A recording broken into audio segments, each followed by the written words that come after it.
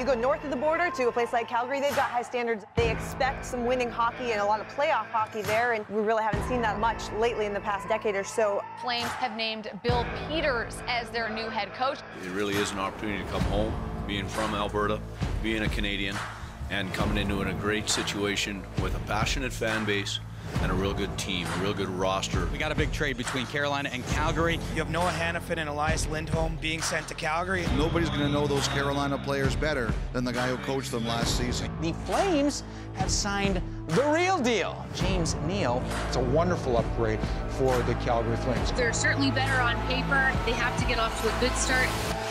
Backhand, scores! What a shot by Crosby. Phil Kessel scores! Second of the period for number 81. Holland scores! A one-timer? 9-1. 9-1. My goodness. Losing count. There's certainly a lot of bad blood right now. Not great. Bill Peters called the 9-1 loss uh, rock bottom. Well, doesn't it seem a little bit early to be declaring this as rock bottom? The Flames need to turn things around. It's about that time. Centers, Giordano, kick and roll. He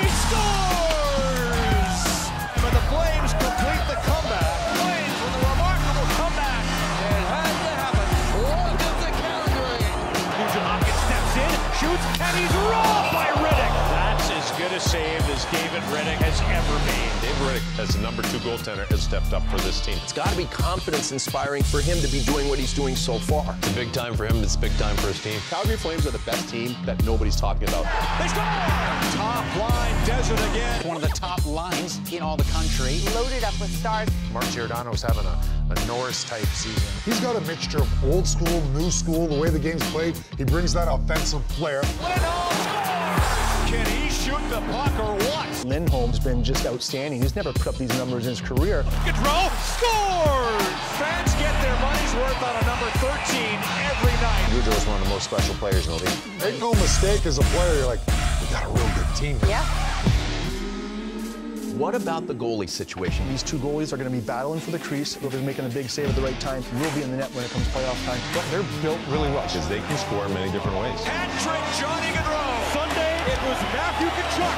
Tonight, Johnny Gaudreau, a magician. They are on fire. And for the first time since 2006, Calgary Flames will finish first in their division.